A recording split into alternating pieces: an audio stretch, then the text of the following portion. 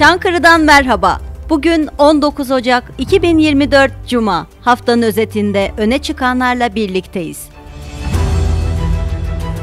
Çankırı Belediye Başkanı İsmail Hakkı Esen, belediyede çalışan memurların sosyal denge sözleşmesini imzaladı. Son sözleşme ile kamu görevlileri maaşlarına ilave olarak en yüksek devlet memuru aylığının katsayı çarpımı %90 arttırılarak memurlara verilen sosyal denge ödeneği 6505 liraya yükseldi. Belediye Çocuk Meclisi 20. dönem üyeleri mazbatalarını aldı. Meclis üyelerinin mazbata heyecanına Esen çifti ve çocukların aileleri de ortak oldu.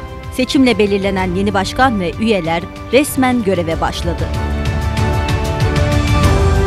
Çankırı Belediyesi araç filosunu güçlendirmeye devam ediyor. Son alınan iki araç ile birlikte Başkan Esen döneminde alınan araç ve iş makinesi sayısı 53'e ulaştı.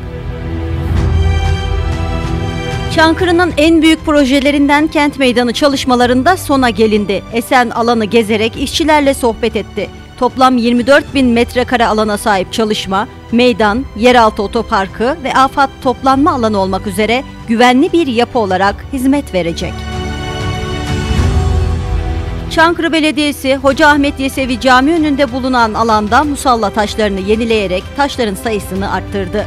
Alana ibadethaneye uygun bir şekilde estetik bir görünüm kazandırıldı.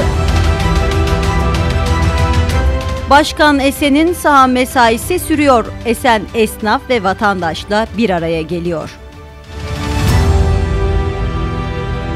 Belediyenin bilgi ve beceri kurslarında toplam 24 farklı branşta yaklaşık 1200 kursiyer zanaat öğreniyor.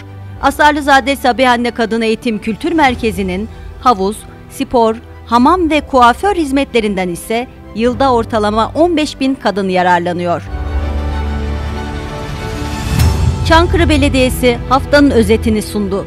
Büyüklük hizmette gizlidir. Esen kalın.